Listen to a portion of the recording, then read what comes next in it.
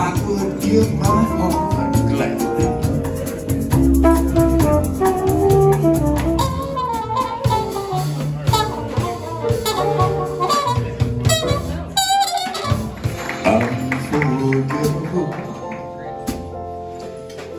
That's what you are. Is it?